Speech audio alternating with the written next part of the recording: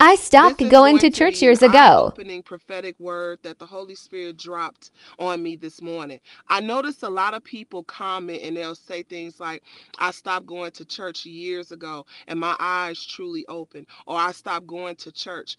And you know, it's interesting to me when I read those comments and God begins to speak to me concerning the people that say these things, these people are um, living in pure dishonor.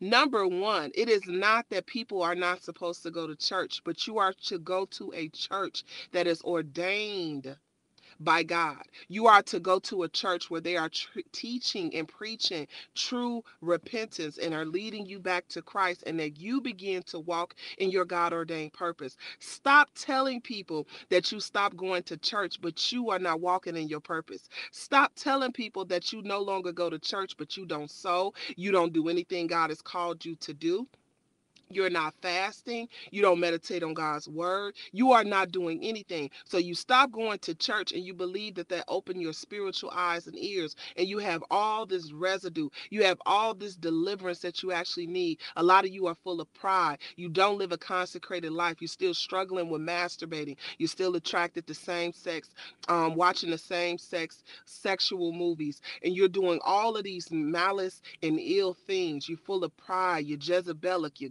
gossiping and slandering, speaking ill of people, fault finding. You're doing everything under the sun, but you're excited about telling people that you stopped going to a church. Honestly, some of you need to go back and maybe sow into these churches so that God can rebuke the devourer for your sake. Because many of you are living in pure hell and you believe that you have arrived. You have not arrived until you start walking in your purpose. You have not arrived until arrived until you actually die to self and live for Jesus Christ.